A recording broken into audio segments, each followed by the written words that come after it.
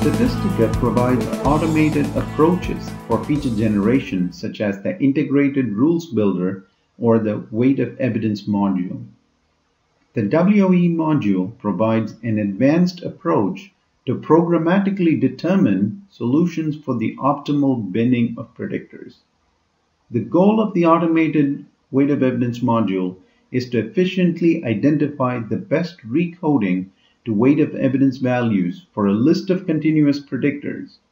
For categorical predictors or interactions between coded predictors, users can combine groups with similar observed weight of evidence codes to create new coded predictors with continuous weight of evidence values.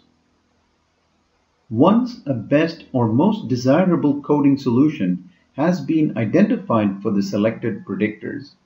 The respective recoding logic for each variable can be reviewed via the Statistica Rules Builder and deployed and managed as rules in Statistica Enterprise and workflows.